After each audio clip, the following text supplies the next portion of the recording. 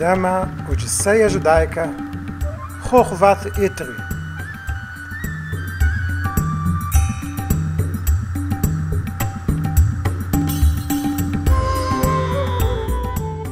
Em nossa jornada de hoje, estamos seguindo no topo de uma colina na região da Esfilá, nas montanhas baixas da Judéia.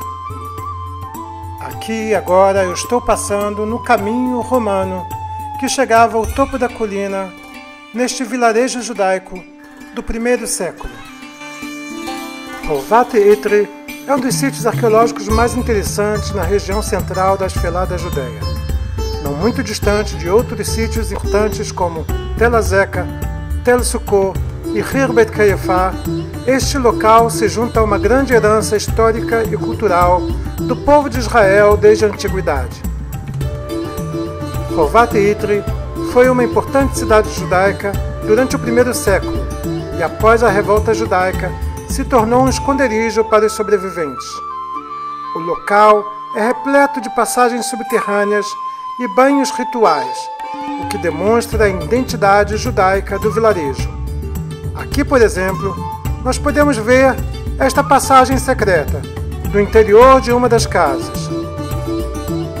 Portanto, como há muitas passagens como essa ou poços, é necessário muito cuidado para o viajante que se interessa por visitar este local. Aqui nós podemos ver mais uma passagem, de dentro de mais uma residência. Isso se deve pelo fato de que os moradores se prepararam para um possível ataque dos romanos, criando esconderijos debaixo de suas próprias casas. Outros utilizavam esses esconderijos também como um depósito para sobreviver em tempo de necessidade. O historiador romano Dion Cássio alegou que os romanos destruíram nada menos do que 985 aldeias judaicas ao suprimir a conhecida revolta de Bar a segunda revolta judaica. Eu acredito que nós temos escavado uma daquelas aldeias em um local conhecido como Horvat Etri, está localizada a apenas 15 milhas a sudoeste da capital da revolta, o vilarejo de Beitar, ao sul de Jerusalém. No final da revolta, a aldeia de Itri foi violentamente destruída e queimada. Homens, mulheres e crianças foram enterrados em uma vala comum. Um exame do que restou dos ossos revela que uma das vítimas foi decapitada. A espada deixou marcas de corte sobre a vértebra de seu pescoço.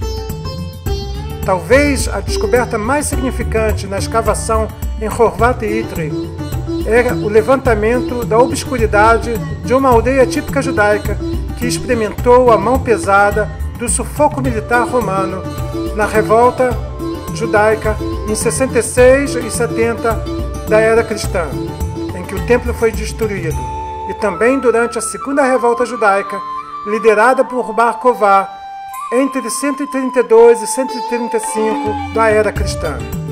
Agora eu estou entrando dentro de um mausoléu. Ele foi muito bem escavado, muito bem decorado. Mas como vocês podem ver aqui, este túmulo foi violado por ladrões de antiguidade, que o quebraram e saquearam, não deixando ali as riquezas que poderiam ser investigadas pelos arqueólogos. Porém, o detalhe arquitetônico é impressionante.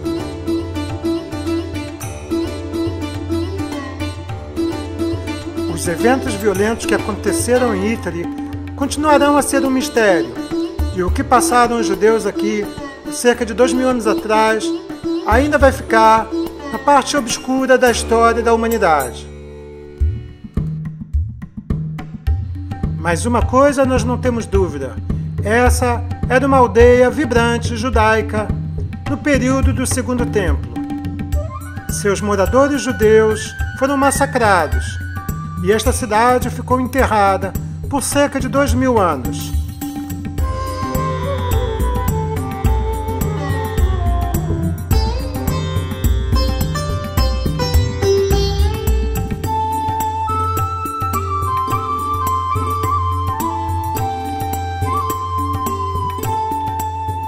Em Rovat e Itri também foram encontrados mikvaot, ou seja, banhos rituais de purificação. Cada um dos banhos rituais atendia especificamente aos requisitos religiosos. A água deveria ser transmitida a ele naturalmente, e não a partir de fontes externas. E cada um continha pelo menos 570 litros de água, o suficiente para dar profundidade para a imersão completa. Este aqui, no caso, tinha muito mais do que isso. Banhos rituais como esse demonstram que a preocupação da população judaica de manter os seus rituais religiosos, mesmo debaixo da opressão dos romanos.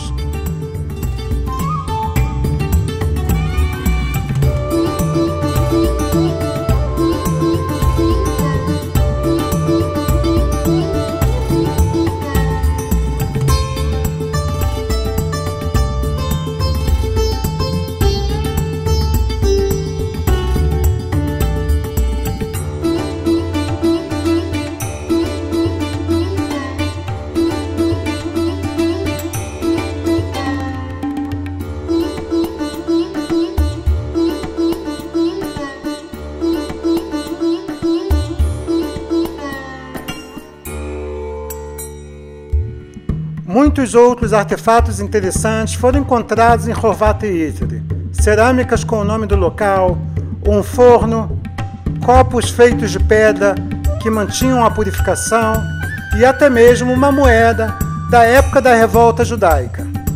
Não deixando dúvida, esta é realmente Cafaitra, citada por Flávio Josefo em seus relatos da revolta judaica.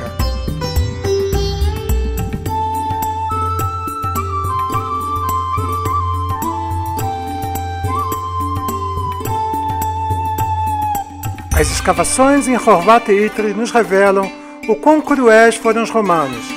Eles esmagaram judeus sem ter pena nem mesmo de crianças e mulheres grávidas. O Império Romano também sucumbiu, mas o povo de Israel está vivo. E agora, dois mil anos após estes massacres terríveis, vemos a história sendo restaurada bem diante dos nossos olhos.